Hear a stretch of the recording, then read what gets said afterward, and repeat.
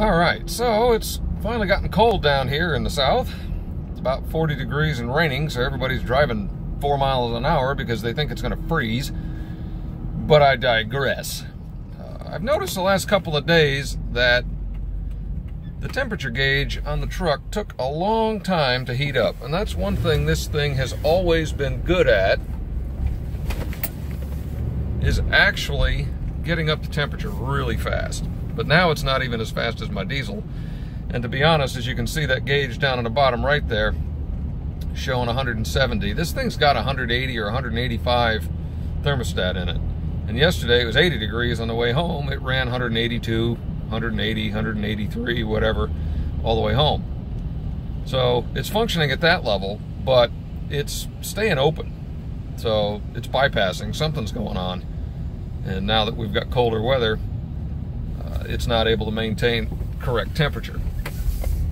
So I'm gonna do a little digging, maybe run out at lunch day and grab a new thermostat, and uh, we're gonna figure out how to change that. I swear I just did that a year or two years ago when I changed everything else on the upper end when I had that coolant leak, but I don't recall. I'm gonna have to look to see if I did it. I may not have, but I doesn't. It seems like I would have because I did everything else. But in any case, this isn't right.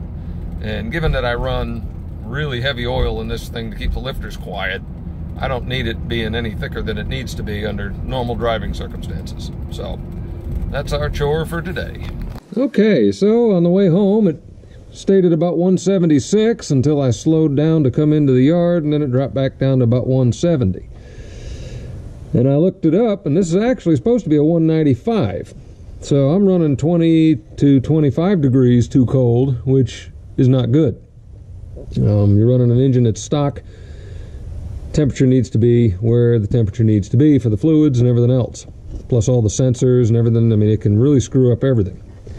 Uh, as far as your enrichment goes, too cold. You know, this this temperature is probably not too bad, but you get things running really cold. It may not get out of idle control. You know, may do all sorts of weird things to your fueling. And I have noticed the fuel economy has been about a mile per gallon off the last couple of tanks, so that may be what's going on.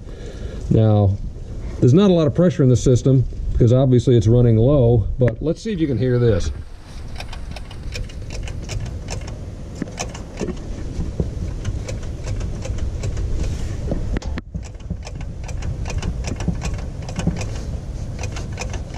That's me just sloshing the coolant back and forth and the thermostat is clanking. So something, most likely one of the springs, has failed which really annoys me a little bit because I did replace this about a year, 15 months ago with a new one, which I was Gates branded that I recall and I thought was going to be pretty good. But yeah, it is what it is. So what we need to do to get at this thing, we're going to pop the top cover off. Then we're going to get in here and take this elbow out. I don't believe I need to take this out. We'll unhook this connection here for the temperature sensor and that should give us enough access to get in there. Now this I believe is 10 millimeter. This is a screwdriver and that's what we're going to do now. So now that that's off, pretty clean. Not too bad, a little bit of dust, but not bad. We got two 10 millimeter bolts holding the neck on then we got a 10 and what looks to be two 8s, 10 and two 8s holding this little bracket on. So the next step is to pop this bracket off and we're gonna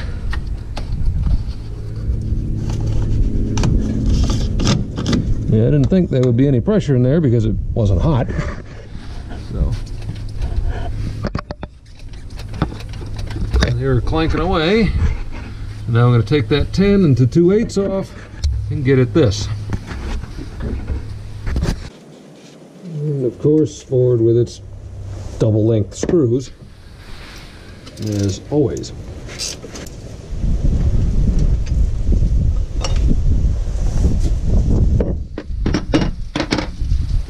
And now we got our Two tens holding that on. I'm going to attempt to do this without breaking this hose loose because it ain't leaking, so to heck with it. I'm just going to go get a wrench and a 10 millimeter socket.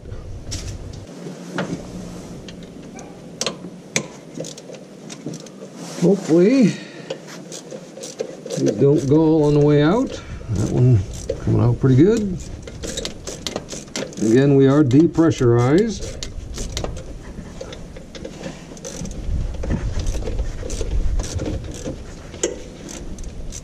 Alright, before we do this, got our new part ready. We're going to attempt to do this without leaking as much as possible. This is a AutoZone Special 195.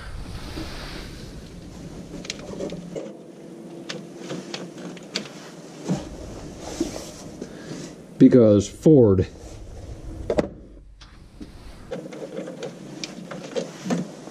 And, of course, All right.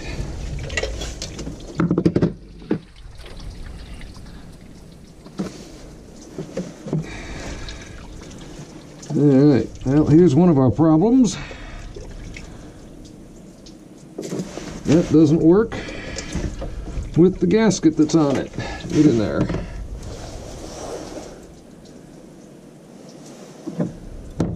So, see something here. This is supposed to have an O-ring on it, but that's obviously for a different manifold. So we're going to try something. Probably fail miserably, but we're going to try anyway.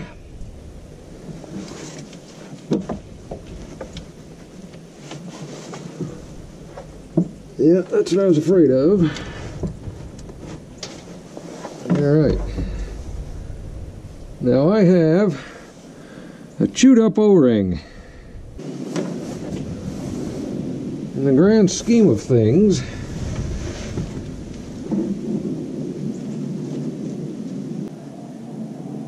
I can get this on square. I'm sure this is fascinating. There we go. Okay, I got that on there square. Now we're going to attempt to put this thing together and see if it won't leak. If not, I may need to go get an O-ring.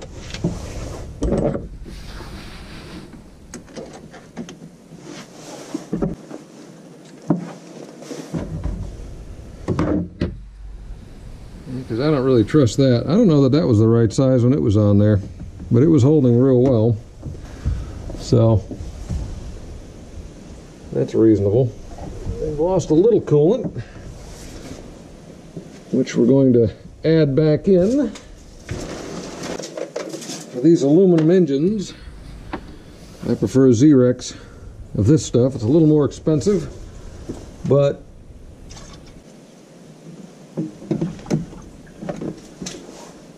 when it comes to your engine, and you want to keep it lasting for a long, long time, you want something in there that's not going to corrode the aluminum. So that's pretty much it. Now what we've got, I don't know, maybe it was that little thing that was jiggling, but we'll play with this a little later in the pan, see what happens. I'm not sure what's going on with this thing, but it certainly wasn't working. I don't see a temperature rating stamped on it, but oh well.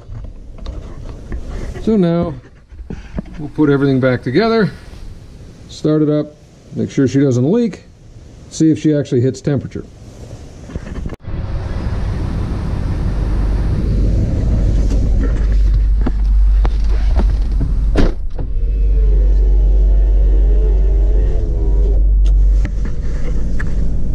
All right, this restarted it about 149 degrees. And we will see what she does. All right, starting to come up. I'm gonna take it out for a quick spin, see what it does. All right, well, that's better, but still not what I would expect. So, seems to have stabilized at about 183. Now I'm gonna run home and put my real scanner on this thing and see if maybe my Kiwi's reading improperly. But uh, the other thing I could have is a temperature sender starting to go bad. So that's an interesting tidbit as well. So we're at 186 and the gauge is about where it's supposed to be and I just checked the, uh, the housing temperature and it's at about 184 so everything seems to be reading about right. I double checked the part number. It says it's supposed to be a 195 so I guess that's 5% eh you would think they'd be able to be a little more accurate than that, but, well, whatever. For $13 or whatever it cost, I'm not going to complain too much. But, uh, so, anyway, that's how you change the thermostat in your old F-150 or Expedition or Excursion, probably. And uh, if you see any of the tools that I've used on here, I'll keep them on my Amazon affiliates page, and the link to that is below in the description. So, appreciate y'all for watching. Talk to y'all later.